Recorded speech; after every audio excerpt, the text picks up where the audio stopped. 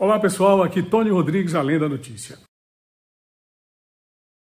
Hoje eu gostaria de comentar um vídeo feito pelo deputado federal Merlong Solano do PT, onde ele rebate o senador Ciro Nogueira no tocante à privatização da AGESPISA, que eles chamam de parceria público-privada, mas se entrega para uma empresa, é uma privatização. Segundo o senador Ciro Nogueira, essa privatização ocorreu com muito mais ganhos no estado de Alagoas. Para vocês terem uma ideia, em Alagoas, a outorga do sistema de águas e esgoto renderá 2 bilhões de reais ao Tesouro Estadual. No Piauí, o mesmo processo resultou em muito menos, 162 milhões apenas.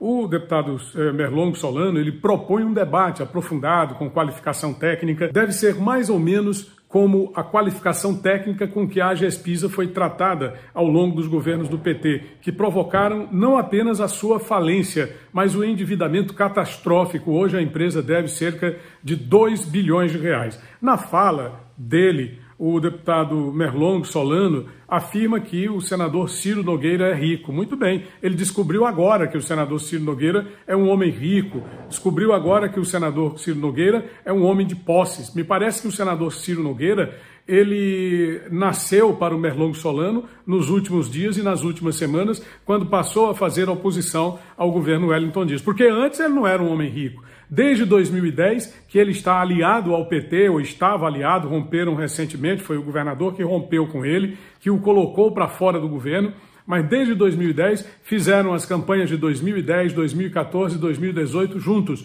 E agora o Merlong Solano descobriu que o senador Ciro Nogueira é um homem rico. Inclusive, é importante relacionar que o senador Ciro Nogueira indicou a candidata a vice na chapa do senhor Wellington Dias em 2014. Por que, que o senhor Merlong Solano, na época, não disse: olha, governador, não aceite a, a, senhora Margarete Coelho aqui na chapa porque ela foi indicada por um homem rico, que é o senador Ciro Nogueira. Quer dizer, quando eles perdem o discurso, eles procuram atribuir esse tipo de caracterização nos seus adversários. Eles fizeram isso com o ex-senador João Vicente Claudino em 2014, quando João Vicente, aliás, em 2010, quando João Vicente ousou disputar a eleição para governo depois de ter sido lesado, enganado pelo então governador Wellington Dias, que lhe prometeu a candidatura e depois negou e deixou que ele ficasse a ver navios quando ele, coitado, dizia: minha, minha trincheira é a base aliada. Ave Maria, se a trincheira dele fosse a base aliada, ele não era nada em política, como de fato não é. Levou em consideração a fala do rei do balão,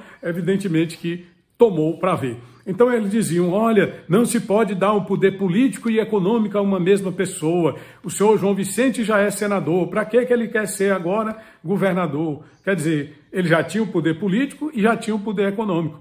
Ele não precisava de mais poder político, então, porque ele é muito rico. A mesma coisa eles fizeram agora com o Ciro, né? Olha, ele é rico. Fizeram com o João Vicente, acabaram com a reputação do João Vicente com essa história de que ele era rico. Mais rico, eu acho, é o próprio governador Wellington Dias. Basta ver a declaração de bens apresentada por esse senhor à Justiça Eleitoral. Se aquilo não é ser rico, sinceramente eu não sei mais o que é. Ou então, um simples candidato a prefeito de uma cidade do mais profundo interior piauiense embora seja uma cidade polo, no caso a cidade de Picos, mas localizada numa região difícil que é o semiárido, 54 milhões de reais as posses desse cidadão. Rico é o jovem secretário de Fazenda, Rafael Fonteles, que de uma vez só é, arrecada 36 milhões e 600 mil reais do governo do estado para uma empresa que presta serviços obscuros, obtusos de uma plataforma eletrônica. Rico é o senhor Filipinho, empresário da noite, dono de banda de forró, que de uma hora para outra ascende dentro da República Petista no estado do Piauí, ao ponto de faturar em apenas três anos e meio a estratosférica quantia de 58 milhões e 400 mil reais. Se isso não é ser rico, é preciso urgentemente que o senhor Merlong Solano redefina o que é riqueza, redefina o que é fortuna, para que a gente possa compreender, afinal de contas, o que é que ele entende por riqueza. Bom, para finalizar, eu queria detalhar aqui essa questão de qualificação técnica e chamar a atenção do nosso espectador para uma caixa d'água que foi construída em união pelo senhor Merlong Solano quando ele era presidente da AGESPISA. Aquilo é qualificação técnica. Essa caixa, ela nunca concentrou água no seu interior. Vaza por todos os lados e todos os poros. Qualificação técnica, quem entende, diante das obras realizadas, realmente deve ser o Merlong Solano. Sinceramente, deputado.